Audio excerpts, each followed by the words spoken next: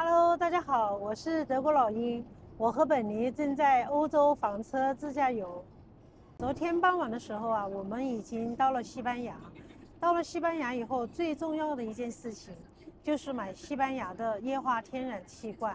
呃，因为德国的煤气罐啊，跟西班牙不是一个标准，所以呢，在德国的煤气罐就不能在西班牙用。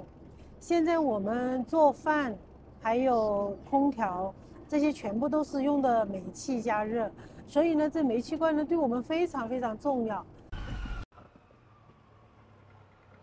这边是一点五八欧元一升，比在比在法国便宜。法国我们基本上都是一块八。昨天我们进入西班牙以后啊。第一时间在他们加油站就想给房车买一个燃气瓶，但是呢，这位西班牙工作人员告诉我们，这种大的燃气瓶呢，他们这里只能更换而不能出售。我们问在哪里可以买到这种大瓶子呢？他说他不知道。他们这里呢，只出售这种六公斤重的小瓶子，啊，六公斤的这个气量啊，太小了。满足不了我们房车烧饭和冰箱制冷的需求。那个小瓶子的价格呀，购买价格是六十九点六欧元，每一次加气的话呢，是需要付十九点六欧元。所以呀，我们就放弃了买这种六公斤重的小燃气瓶。后面本尼通过在网络上寻找。在附近二十公里远的一个地方，哈，有一家公司，它可以出售这种大的燃气瓶。呃，据说，嗯，在西班牙的道路也很好啊，就是这样子笔直笔直的往前开。我们也马上要进入山区了，这就是比利牛斯山。据说啊，买燃气瓶的时候呢，需要这跟这个公司签一个合同。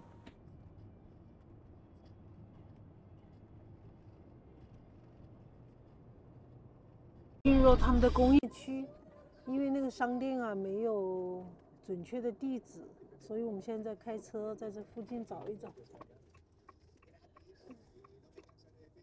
嗯，现在我们进入了工业区。这个商店呢，就在这个工业区里面。用 Google 地图啊，就找到了这个商店的地址。现在开车去找。西班牙确实暖和啊，现在这个大地啊，还有很多的这个绿色。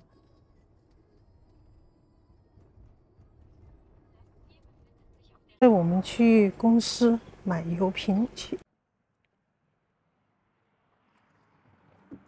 这里就是本尼找到的燃气罐公司，他进去签合同。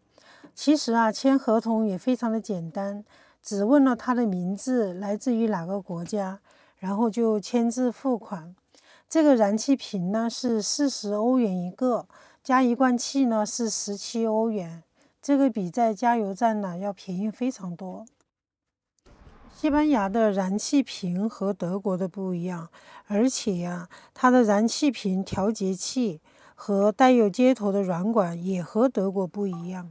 你在德国就购买好了西班牙的气瓶调节器，非常好，试用成功。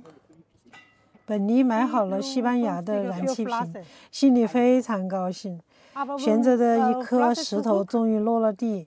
现在就可以安安心心的去安装了西班牙的燃气瓶。在欧洲啊，各个国家燃气瓶的标准不一样，真是购买燃气瓶真是太麻烦了。这款灰色的呢，是我们从德国带过来的燃气瓶，里面还有六公斤的气，我们都很舍不得用，就怕万一换不到气的时候啊，呃，作为紧急情况的补充。这个西班牙的燃气瓶呢因为它的调节器啊比德国的要高所以呢我们还放不进去还要必须把这个德国的燃气瓶给它挪一个位置。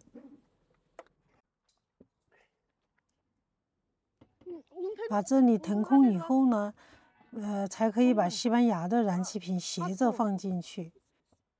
我也有各种规格的这个规格呢是适合在西班牙使用的。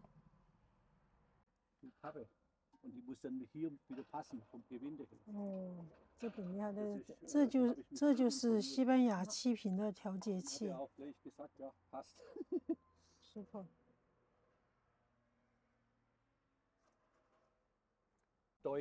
嗯哼，这个是德国的接头。西班牙的燃气瓶呢，它的软管的接头也不一样。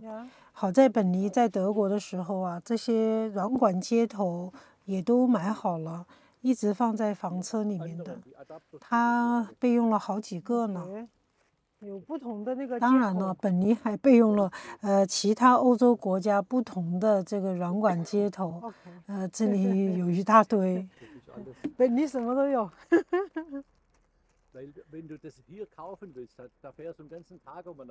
OK，如果在这里买的话，就要到处去找，就非常困难了。所以本尼已经全部都准备好了。安装好了西班牙的燃气瓶以后呢，我们就看一下用这个燃气瓶，我们的冰箱能否正常工作。这个你没有问题。我们现在冰箱已经转成了这个。天然气了，现在已经安装好了，所有的接头都合适。这个是西班牙的接头和天液化天然气瓶，右边的呢是德国的天然气瓶。这个这个我们作为应急用吧。这个德国的天然气瓶里面还有六公斤，当然我们在西班牙的话只使用这个西班牙的液化天然气瓶。现在在手机的 App 上也可以看，还剩百分之多少的天然气。这个天然气瓶呢，是我们已经买下来了，四十欧元一个，呃，我们也不能再卖出去。但是呢，考虑到以后我们还会经常来西班牙，所以说这个天然气瓶呢，我们也可以放在家里作为备用吧。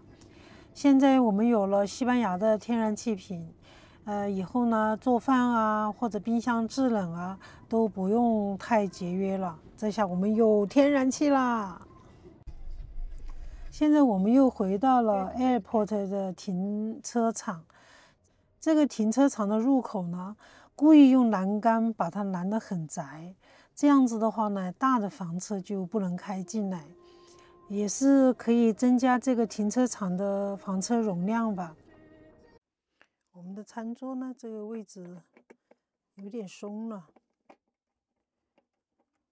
所以我们今天可以静下心来。这里也不冷了，所以本尼把这桌子修一下。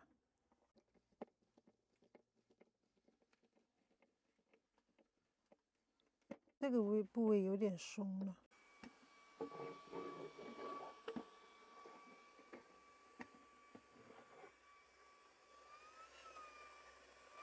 这是我们的小的吸尘器。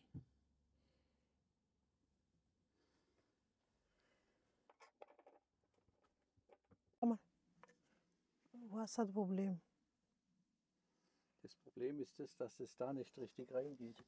Die, die Platz hatte nicht richtig rein oder nicht fest. 谢谢收看，欢迎点赞、留言、评论。